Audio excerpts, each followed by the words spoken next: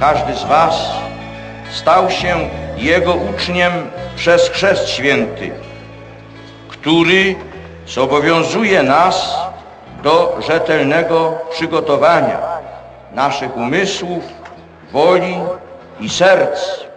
Dokonuje się to przez katechizację, katechezę, naprzód w naszych rodzinach, z kolei w parafiach i innych środowiskach. Poprzez katechezę poznajemy coraz gruntowniej tajemnicę Chrystusa i odkrywamy, na czym polega nasze w niej uczestnictwo. Katecheza nie jest tylko nabywaniem wiadomości religijnych, jest ona wprowadzaniem w uczestnictwo tajemnicy Chrystusa.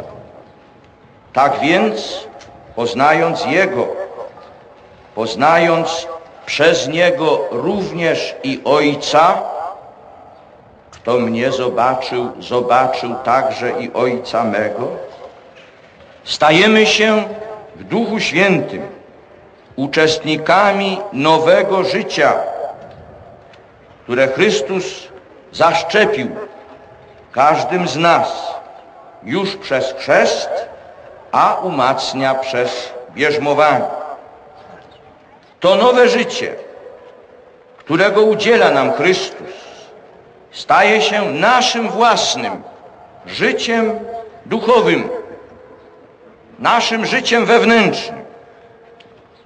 Odkrywamy więc siebie, odkrywamy w sobie człowieka wewnętrznego z jego właściwościami, talentami, szlachetnymi pragnieniami, ideałami, ale równocześnie odkrywamy słabości, wady, złe skłonności, egoizm, pychę, zmysłowość.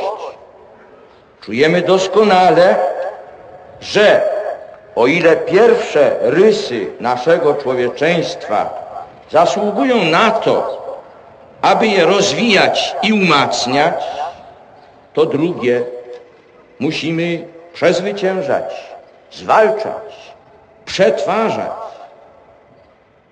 W ten sposób w żywym kontakcie z Panem Jezusem, w kontakcie ucznia z mistrzem, rozpoczyna się i rozwija najwspanialsza działalność człowieka.